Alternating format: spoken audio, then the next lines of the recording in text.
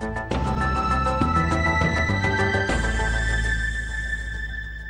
Voilà, rendons-nous à présent à l'est de la Côte d'Ivoire, précisément à Abangourou. À l'instar de toutes les villes de la Côte d'Ivoire qui ont célébré le 15 novembre dernier la fête de la paix, la ville d'Abangourou n'est pas restée en marge de cet événement. Au cours d'une cérémonie marquée de prières en faveur de la Côte d'Ivoire, les autorités de la ville ont appelé les populations à promouvoir la paix et la cohésion sociale dans le département.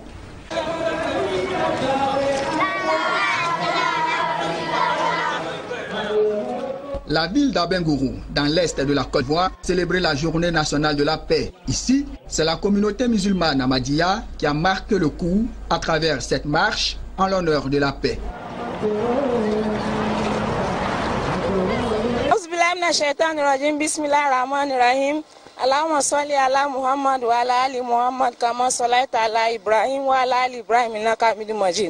Aujourd'hui est journée de la paix.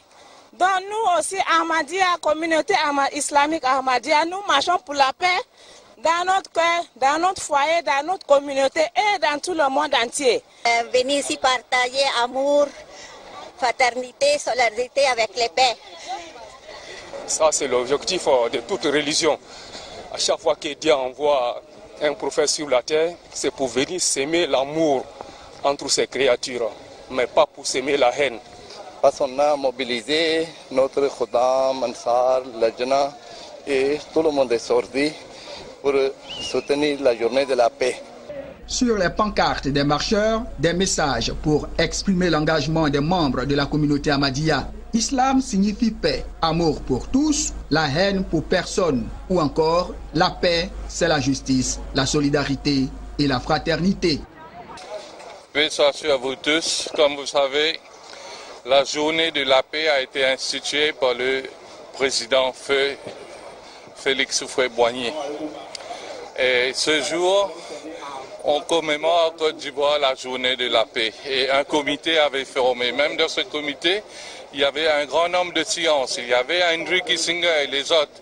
Mais il y a aussi le professeur Abdus Salam, qui est de notre communauté. Notre communauté qui prône toujours la paix, l'amour et qui prêche l'islam avec la raison.